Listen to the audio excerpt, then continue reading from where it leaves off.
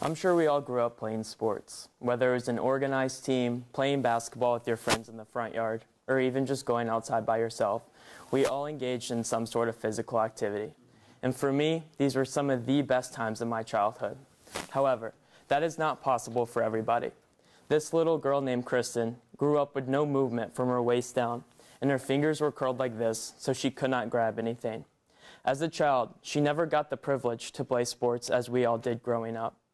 Now I want you to think about all the military men and women that lost limbs during battle. Maybe they have a kid back home and they can't play with it the same because they only have one arm or no legs. That little girl named Kristen turned out to be my brother's future wife, and I got firsthand experience of how hard the life of a physically disabled person can be. This made me want to be more involved in their lives so they can be as active as we are. So I stumbled across a charity called Challenged Athletes Foundation. This charity wants to help with the high costs of adaptive sports equipment and the lack of resources that physically disabled people have in order to play sports. So I am calling you to donate to the Challenged Athletes Foundation so we can support the physically disabled people that never got to be as active as we are. So today, I will discuss the need that the physically disabled people have to play sports. Then, I will encourage you to show support to the Challenged Athletes Foundation. And lastly, I will and lastly, I will illustrate how donating to this charity will help change the lives of the physically disabled. People with a physical disability have a need to play sports just like everybody else.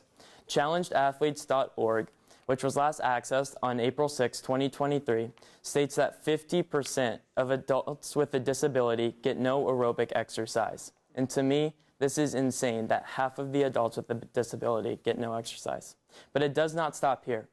38% higher obesity rate for children with a disability than children without we are not giving these kids a fair chance to have physical exercise, which is leading to higher obesity rates, which is not good for them.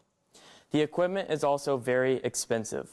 According to challengedathletes.org, a prosthetic leg is $15,000. And if you want both legs, that is $30,000. Wheelchair Junkie, a website that sells custom wheelchairs, states that you can expect to pay between $1,200 and $1,500 for a custom wheelchair. Now, Kristen was not lucky enough to have this money, along with many people nationwide today. So, although the equipment is expensive, you can help somebody in need pay for it. Help the lives of the physically disabled and bring joy and exercise to those in need by donating to the Challenged Athletes Foundation. Since 1994, the CAF has raised over $147 million and have funded over 40,000 grant requests in all 50 states and 70 countries across 100 plus different sports. So as your parents and guardians are spending thousands and thousands of dollars on medical bills, they most likely won't be able to afford the sports equipment needed to play sports. This, the CAF will take that burden away from you and give you the sports equipment so you and your family can focus on one thing at a time. The CAF is also an upstanding and legitimate organization. CharityNavigator.org gives this charity a, a 92% rating, which gives them the highest rating of four stars. And they actually state, if this charity aligns with your passions and values, you can give with confidence. So not only are you donating to a reliable organization, but the donating process is incredibly easy.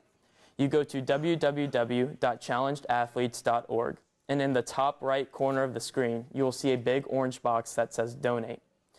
You will then see different values from which you can donate from, or you can enter your own amount. And personally, my favorite experience about donating is that you can write a special message to the person you are donating to, which allows you to feel more connected to that person so your donation can help suffering kids and adults. Now, I want you to imagine as a kid never having movement from your waist down. You've had surgery after surgery, but yet nothing is working and you just want the ability to walk again. However, thanks or after all that your friends and family have done for you, it, is, it seems to be coming to an end because they are financially incapable of buying another thing. However, thanks to the great charity of CAF, you can now finally have the equipment needed to play sports. And now I want you to stop imagining that story because some people don't have to imagine that story. Some people live that story every day in their lives. Those people would be named Kristen Osterhaus, the young lady who was mentioned earlier, Morgan Pixley, a little girl who lost her leg at two years old, but with the help of CAF, she got a prosthetic leg and is now training for a kids triathlon. And Carson Fox, a young man who broke his leg during a high school football game, but then an MRI revealed he had a tumor in, his, in that leg and had to get it amputated. With the help of CAF, he got a prosthetic leg and is now playing the sports that he loves again. And one quote that I actually found really fascinating and stuck with me was Carson Fox saying, I may have lost my leg to cancer, but I did not lose my desire to compete. And that is exactly what the CAF gives these kids. It gives them not only the ability to play the sports they love, but the desire to compete again. With this donation to the reliable organization of CAF, you can help thousands and thousands of physically disabled, not only kids, but adults as well, live their dream of finally playing on a sports team or even just with their friends. Go to the CAF and donate today. The obesity rates for the physically disabled are rising to an overwhelming number, but we can help stop that just by donating and help improve the lives of the physically disabled. Thank you guys.